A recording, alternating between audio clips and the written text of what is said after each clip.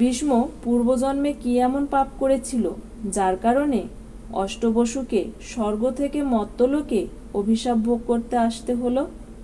নমস্কার প্রিয় দর্শক, এই সকল বিষয়ে জানার জন্য আজকের ভিডিওটি শেষ পর্যন্ত দেখার অনুরোধ রইল। আশা করছি ভিডিওটি আপনাদের ভালো লাগবে। মহামহিম, এই উপাধি দিয়েছিলেন স্বয়ং শ্রীকৃষ্ণ ভীষ্মকে। এই ব্যক্তির জীবন যেমন ঘটনাবহুল তেমন বর্ণনাময়। মহাভারতে হাজারো ঘটনা রয়েছে, কিন্তু তার মাঝে ভীষ্মের জীবন যেন সর্বদা মানুষের কৌতূহল উদ্রেক করে গিয়েছে। হস্তিনাপুরের এই রাজপুত্র কিন্তু কোনো সাধারণ মানুষ নন। রাজা শান্তনুর ঔরসে দেবী গঙ্গার গর্ভজাত অষ্টম সন্তান। কাজেই সাধারণ যে তিনি নন, তা তার মাতার কথা শুনে অনুমান করা যায়। কিন্তু প্রকৃতপক্ষে ভীষ্মের মনুষ্য জন্ম তার নিজের পাপের দণ্ড ছাড়া আর কিছুই নয়। এক মহাপাপ হয়েছিল ভীষ্মের দ্বারা তার পূর্বজন্মে। যে জন্য ব্রহ্মসাপে অভিশপ্ত হতে হয়েছিল তাকে। শুধু তাকে নয়, তার আরও সাত ভাইকেও। ভারতীয় পুরাণে এই আট ভাইকে বলা হতো অষ্টবসু। এক সময় অষ্টবসু নিজ নিজ স্ত্রীদের নিয়ে ভ্রমণে বের হলেন। পথের মধ্যে পড়ল বশিষ্ঠ মুনির আশ্রম।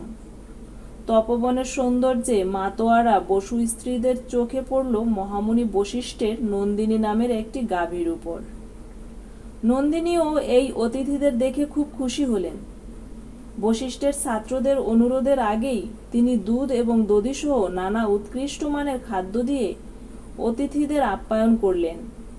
ভুললেন না বসুপত্নীদের মূল্যবান বস্ত্র ও অপরূপ কারুকার্যমণ্ডিত অলঙ্কার উপহার হিসেবে দিতেও। নন্দিনী ছিলেন স্বর্গের কামধেনু সুরভির কন্যা।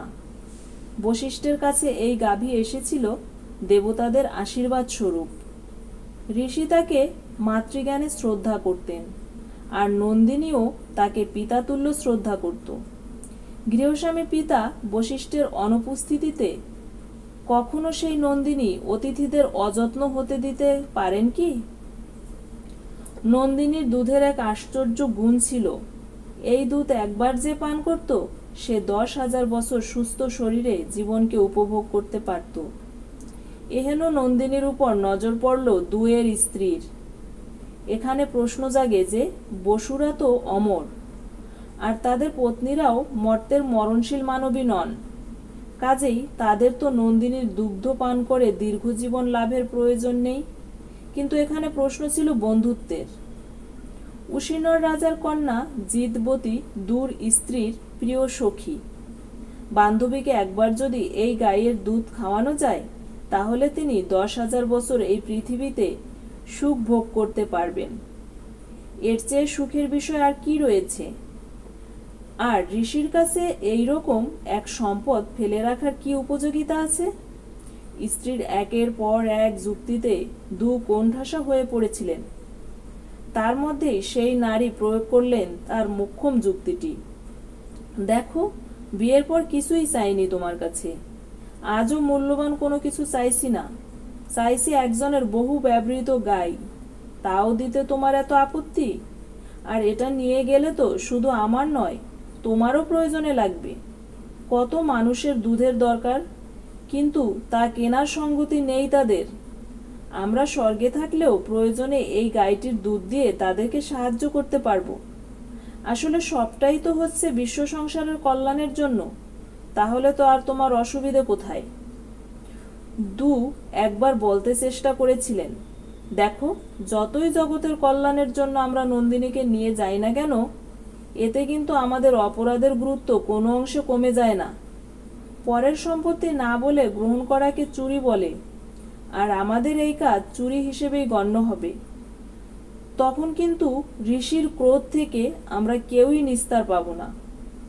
ভালো করে এর পরিণাম ভেবে দেখো। তখন কিন্তু স্বয়ং প্রজাপতি ব্রহ্মা ও আমাদের উপর রুষ্ট হবেন। তার থেকে কিছুক্ষণ অপেক্ষা করা যাক। ঋষি ফিরে আসুন। তার অনুমতি নিয়েই বরং আমরা নন্দিনীকে নিয়ে যাই। সকলের কল্যাণ হবে ভেবে নিশ্চয়ই বশিষ্ঠ মুনি এতে অমত করবেন না। আর তাছাড়া আমরা আপাতত একটা পাত্র চেয়ে নিয়ে তোমার সখী জিতবতির জন্য দুধ নিয়ে যাই। পরে না হয় এসে মহর্ষির সঙ্গে কথা বলে যাব। কিন্তু বসুপত্নী এতে কিছুতেই সম্মত হলেন না। তার মতে বশিষ্ঠ ফিরে এলে কোনোভাবেই তিনি নন্দিনীকে হাতছাড়া করতে চাইবেন না। বারবার তিনি স্বামীকে পীড়াপিড়ি করতে থাকেন। অপর সপ্তবসুও এ ব্যাপারে কেউ কেউ নির্বিকার থাকেন, আবার কেউ কেউ দুকে গৃহশান্তি বজায় রাখবার পরামর্শ দেন। শেষ পর্যন্ত নিজের বিচার বিবেচনা হারিয়ে অষ্টবসুরা নন্দিনীকে বাসুর সমেত চুরি করে নিয়ে গেল। নন্দিনী অনেক চেষ্টা করেছিলেন আশ্রম ছেড়ে না যাওয়ার, কিন্তু আশ্চর্যের ব্যাপার বিশ্বামিত্রের সৈন্যদলকে যিনি পরাস্ত্র করতে পেরেছিলেন অবলীলাক্রমে, তিনি এ ব্যাপারে ব্যর্থ হলেন। কে জানে, বসুরা বা তাদের পত্নী কেউই তো আপদে মরলোকের বাসিন্দা নন। তাই নন্দিনীর পরাক্রম হয়তো তাদের ষোলো জনের সঙ্গে লড়বার পক্ষে পর্যাপ্ত ছিল না। এদিকে আশ্রমে প্রত্যাবর্তন করলেন বশিষ্ঠ। শিক্ষার্থীরা ভয়ে গুরুদেবকে কিছু বলল না। কিন্তু নন্দিনীকে না দেখতে পেয়ে প্রথমে এদিক ওদিক পাগলের মতো খুঁজলেন মহামুনি। তারপর ধ্যানযোগে সব ঘটনা জানতে পারলেন। ক্রোধ ভরে বললেন, মহামুনি, দেবতা হয়েও অষ্টবসু মানুষের মতো কাজ করেছ। তোমাদের স্থান স্বর্গলোকে নয়, মানুষের সমাজই তোমাদের উপযুক্ত স্থান। যাও, শোকে তাপে ভরপুর এই ধরিত্রীতে মানব রূপে জন্মগ্রহণ করো। দেব সমাজ প্রমাদ গুনলেন। এক বিশাল সভা ডাকা হলো স্বর্গলোকে। সেখানে দাঁড়িয়ে সপ্তবসু থরথর করে কাঁপছেন। ব্যতিক্রম শুধু দু। তিনি অবিচল। তিনি খুব ভালো করেই জানেন, যে অপরাধ তিনি করেছেন, তার শাস্তি তাকে পেতেই হবে। তাই তিনি দণ্ডভোগের জন্য প্রস্তুত অবিচল। ত্রিদেব ক্ষোভে ফেটে পড়ছেন। স্পষ্ট ভাষায় রায় দিলেন তারা দেবতা বলে কি তোমাদের ধর্ম অধর্মের ভয় নেই? কি মনে করো তোমরা নিজেদেরকে? তোমরা জানো নন্দিনী কে? তা সত্ত্বেও তোমরা এমন নিন্দনীয় কাজ কীভাবে করতে পারলে? তোমাদের জন্য দেবতাদের মাথা হেট হয়ে গেছে। স্বর্গের বাসিন্দারেই যদি চর্যবৃত্তি করেন, তাহলে মনুষ্য জাতিকে আমরা কি শিক্ষা দেব? আর তারাই বা আমাদের আদেশ মানবে কেন? ক্ষমার কোনো প্রশ্ন ওঠে না। ক্ষমা তোমরা একমাত্র পেতে পারো মহামুনি বশিষ্ঠের কাছে। তিনি যদি তোমাদের ক্ষমা করে নিজের অভিশাপ ফিরিয়ে নিতে পারেন, তাহলেই তোমরা স্বর্গে থাকতে পারবে। নচেত মহামুনি যা বলেছেন তাই হবে। আট ভাই চিন্তিত হয়ে নিজেদের মধ্যে পরামর্শ করলেন, ত্রিদেবও মুখ ফিরিয়ে নিয়েছেন। এখন উপায় একমাত্র মহামুনির চরণ স্পর্শ করে নিজেদের অপরাধ স্বীকার করা। একটা ক্ষীণ আশা, যদি তিনি সন্তুষ্ট হন। যেমনি ভাবা তেমনি কাজ।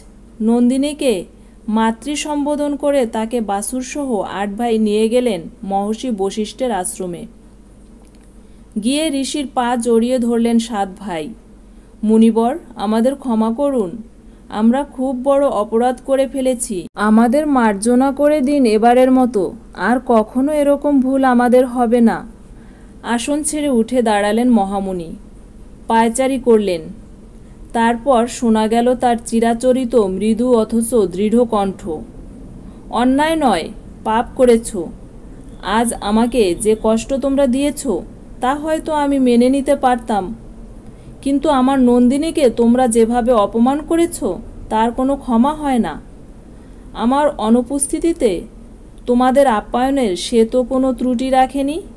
সাধ্যের বাইরে গিয়ে সে তোমাদের সমাদর করেছে। কিন্তু তোমরা তাকে মাতা নয়, পশু হিসেবে বিবেচনা করেছ। অবলা বাসুরটিকে পর্যন্ত তোমরা কেড়ে নিয়েছ তার মায়ের থেকে, যাতে নন্দিনী স্বেচ্ছায় তোমাদের সঙ্গে যেতে বাধ্য হয়। না হলে নন্দিনীকে নিয়ে যাওয়া তোমাদের কর্ম নয়, বসুগণ। আর আসল অপরাধী অষ্টম বসু দু, সে তো একবারও ক্ষমা চায়নি। কারণ সে আসলে অনুতপ্তই নয়, অথচ তার অপরাধ সবচেয়ে বেশি। তার জন্যই এবারে তোমাদের সকলকে এই দুষ্কর্মের ফল ভোগ করতে হবে। কারণ চুরি না করলেও তোমরাও সেই পাপে সমান পাপী। কেউ তোমরা দুকে সুপরামর্শ দাওনি। কেউ তাকে কুপথে যাওয়ার জন্য প্ররোচিত করেছ। কেউ বা পাশ কাটিয়ে গিয়েছ। কাজেই তোমাদের ভূমিকাও কিছু কম নয়। ইতিমধ্যে মহামুনি আশ্রমে আগমন ঘটেছে ত্রিদেবের। তারাও দুয়ের এই আচরণে স্তম্ভিত। এবার মুখ খুললেন দু। প্রথমে নন্দিনীর বাসুটিকে কোলে নিয়ে নন্দিনীর পাশে দাঁড় করলেন। মাতা সন্তানের মিলন হলো। এরপর মহামুনির চরণ বন্দনা করে বললেন, হে ঋষি, আমি ক্ষমা চাই না। আমাকে আপনি আমার এই পাপের কঠোর শাস্তি প্রদান করুন। এমন দৃষ্টান্তমূলক শাস্তি হোক আমার, যা দেখে আর কোনো দেব যেন এমন ভয়ঙ্কর পাপ করতে সাহস না করে। এমন দৃষ্টান্তমূলক শাস্তি দিন আমায়, যাতে আমি প্রতি মুহূর্তে আমার পাপের কথা মনে করে কষ্ট পাই।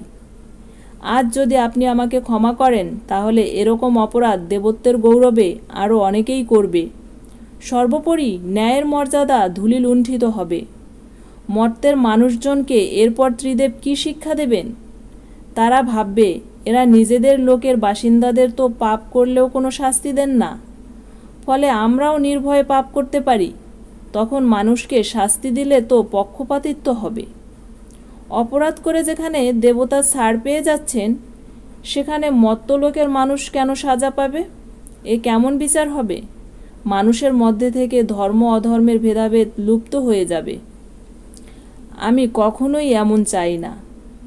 অভিভূত মহামুনি, ত্রিদেবের দিকে তাকালেন বশিষ্ঠ।